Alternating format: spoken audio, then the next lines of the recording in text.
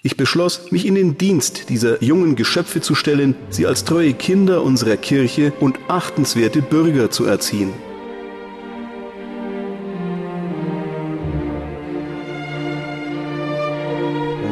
Bis heute wissen wir noch nicht, ob Pater Anton auch persönlich mit dem heiligen Don Bosco zusammentraf.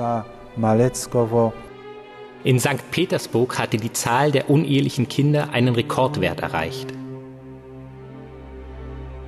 Sein Vater, Josef Malecki, war Militärattaché am Hof Nikolaus I. Василиса Мария, я тебя крещу во имя Отца и Сына и Святого Духа.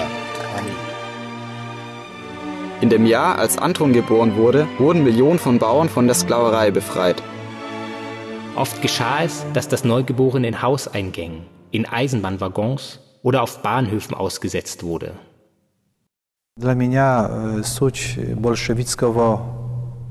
Ich begriff den Kernpunkt der bolschewistischen Revolution, als ich die Worte Lenins las.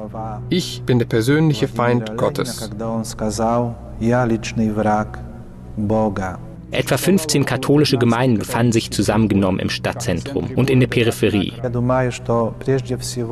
Ich denke, dass für ihn vor allem die Worte von Christus wichtig waren. Der sagte, wer eines dieser Kinder aufnimmt, nimmt mich auf.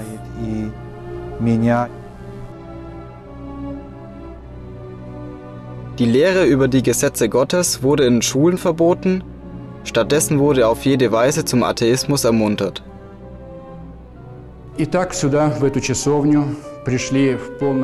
Erzbischof Derbeny betrat diese Kapelle in seinen bischöflichen Gewändern und setzte sich auf diesen Bischofsstuhl.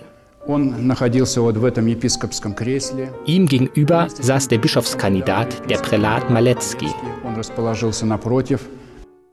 Kinder und Jugendliche wurden belohnt, wenn sie jene, die zur Kirche gingen, denunzierten.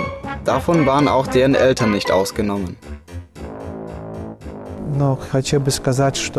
Ich muss dazu auch sagen, dass es nicht einfach ist, die Tradition von Pater Malecki fortzusetzen. Pater Anton Malecki wurde zu drei Jahren Gefängnis verurteilt, zunächst in der Lubjanka, danach im Moskauer Sakolniki Zentralgefängnis. Malecki wohnt in der Rotarmistenstraße Nummer 11, in dem Appartement Nummer 30. Hier befindet sich heute das theologische Seminar. Im Jahr 1925 verhandelte der Vatikan mit Moskau über das Schicksal der katholischen Kirche in Russland. Hier an den hohen Flussufern der Angara kann ich mich mit Gott in vollkommener Abgeschiedenheit unterhalten. Schade nur, dass ich von euch allen so weit entfernt bin und meiner Pfarrei nicht dienen kann, die ich so sehr liebe.